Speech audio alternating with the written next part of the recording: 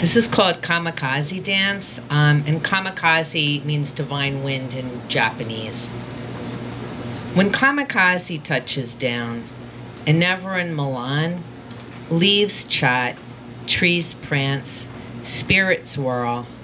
In a lover's trance, all nature stirs. Birds aflutter, their melodious arias in sync. A teasing sun plays hide and seek, casts shadows on, on the Orfento Valley's lush green, dares the clouds to reply. Woman of earth, I was parched for breezes, danced my childhood days in windswept Philadelphia, chasing destiny.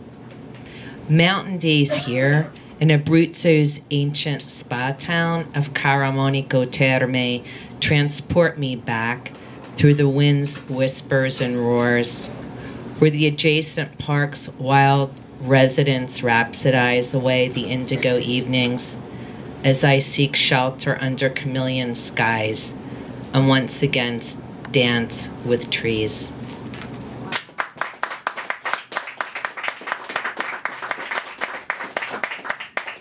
I don't know if any of you Philly people remember Chestnut Cabaret, but I used to hang there. yeah, I was a groupie. Um, this is called Magic Smile.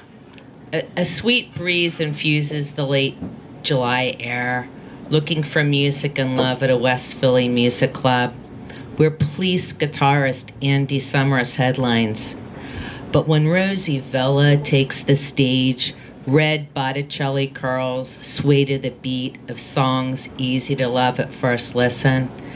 I hear the Steely Dan undertones. She had re- reunited Fagen and Becker to master her debut album, Zazu. Sultry cover model turned singer songwriter, an elusive talent like the lovers she writes about, her musical legacy, a soul album, and devoted cult following.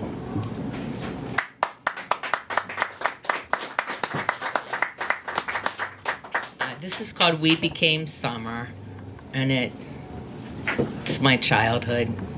Uh, Long before we needed protection, we formed tribes and picked a chief.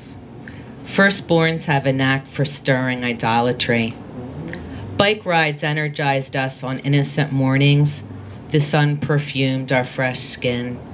Before self awareness replaced laughter and possession replaced play. At dusk, seduction set in Bruises faded and mosquitoes fled.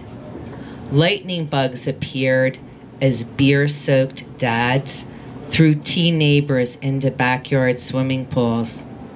And we invited boys into the playhouse shed before ennui replaced embracing fear of the unknown.